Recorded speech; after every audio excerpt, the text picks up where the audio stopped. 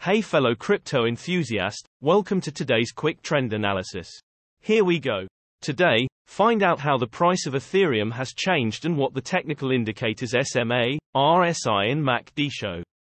If you are unfamiliar with the indicators, check out the explanation videos below. Looking at the Ethereum hourly time frame, the price moved only slightly to the downside with around 1.3% in the last 24 hours, with a current price of 1656.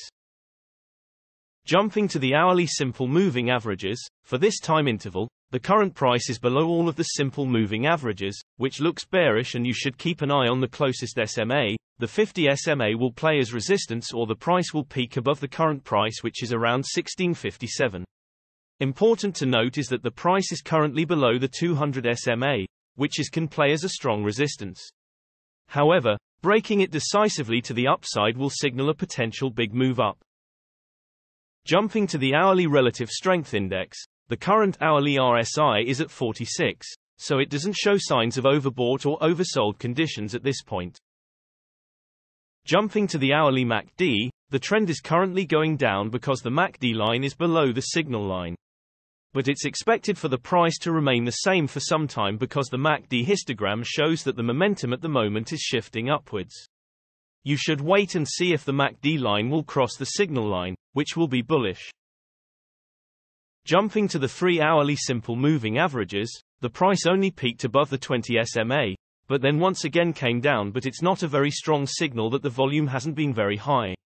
The current price is below all simple moving averages for this time interval, which looks bearish and it is to watch if the closest SMA, the 20 SMA will play as resistance or the price will break it to the upside above the current price of around 1657.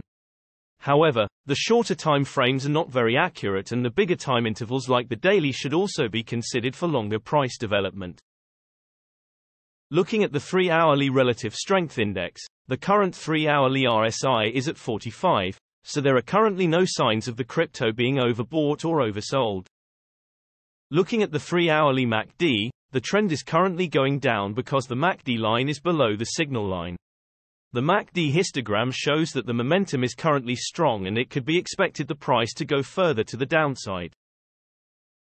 In general, the larger time frames have a greater impact on the price, so please remember that when we display different time frames with different indicators. And also the shorter time frames are only representative for the short-term trading. Thanks for watching. New videos are uploaded every few hours analyzing various cryptocurrencies, so be sure to subscribe so you don't miss out. If there is something that you didn't understand, leave us a comment below and we'll get back to you. You should know that trading with cryptocurrencies is very risky and these videos are only an overview of what happens with the price and the pure technical analysis without considering the fundamentals. So you should read more and make your own investing decisions. See you next time. time, time.